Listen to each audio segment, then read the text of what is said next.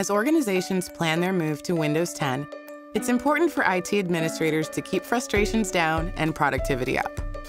Chrome browser not only offers a familiar and consistent experience across your employees' devices with all their company and personal settings, bookmarks, and cloud apps at the ready, but it also has easy to manage, secure, and adaptable features essential for enterprises, regardless of operating system.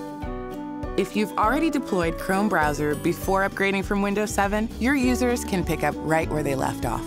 If you're not currently managing Chrome browser, rolling it out in your new OS environment is the perfect time to get your team on board.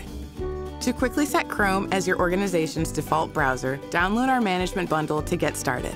Once installed, use Group Policy or the Google Cloud Management Portal to configure security. With over 300 policies, you can easily manage extensions, access to apps, updates, and more.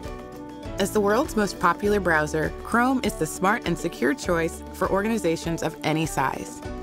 Available on every OS, Chrome browser provides a secure, adaptable, and user-friendly experience for the people that rely on you, which is why you can rely on Chrome browser.